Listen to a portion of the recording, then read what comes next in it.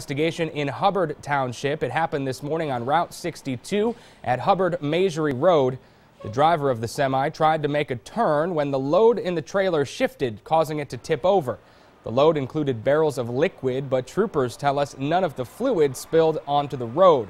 Safety crews did have to be called out, though, when oil from the truck's engine began to leak. It took more than two hours to get the mess cleaned up, but they kept one lane of traffic open during that time. The driver was cited with failure to control.